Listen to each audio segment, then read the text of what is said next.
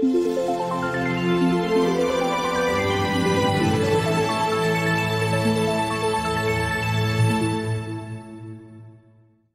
据 NBA 著名记者沃神的报道，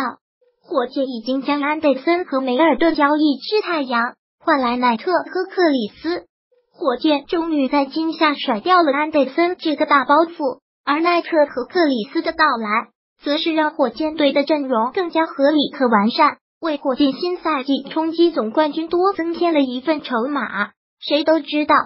火箭为了甩掉安德森这个大包袱，莫雷在今夏是煞费苦心。但是怎奈安德森的垃圾合同在 NBA 早已人尽皆知，一直都没有球队愿意当接盘侠。安德森也就一直还是火箭队的人。随着新赛季的脚步日益临近，不少火箭球迷都已经不再对球队送走安德森抱以希望时，认为安德森将会成为莫雷一生的败笔时，莫军是再次出手，让所有人见识到他超高的手段。这一次，莫雷用安德森换来奈特和克里斯，虽然现在还不敢说这是一笔大赚特赚的交易。但至少这笔交易，休斯敦人肯定是占得了便宜。毕竟安德森早已失宠，新赛季也肯定不会再得安东尼的轮换名单中。而克里斯和奈特的到来则是完全不同。在今夏，火箭在锋线上失去了阿里扎、巴莫特两位大将。虽然球队很快引进了恩尼斯，并且成功搞定了安东尼，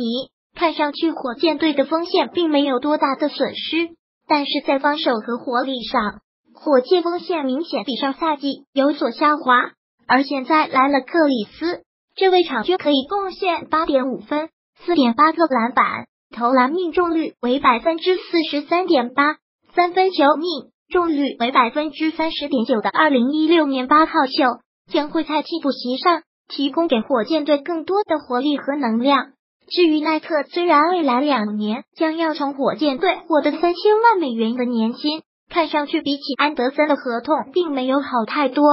更何况奈特上赛季还因为遭遇韧带撕裂的缘故，导致整个赛季报销，遭遇到如此重大伤病，火箭还要引进他，同样是冒着巨大的风险。但是回顾奈特职业生涯之前的表现，这位场均能够得到十一分。二点二个篮板和二点四次助攻，投篮命中率为百分之四十一点五，三分球命中率为百分之三十五点七的后卫，只要摆脱伤病，他将会成为火箭队后场值得信赖的后卫。要知道，受伤之前的那个赛季，奈特场均更是可以拿下十九点六分、五点一次助攻、三点九个篮板的准全明星级别的数据。如果不是奈特受到伤病影响，火箭根本不可能有机会从太阳队得到奈特，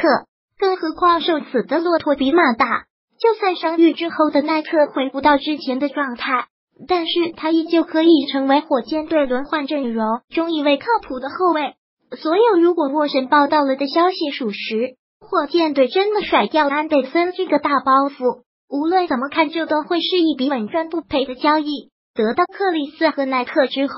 新赛季的休斯顿火箭队更加值得期待。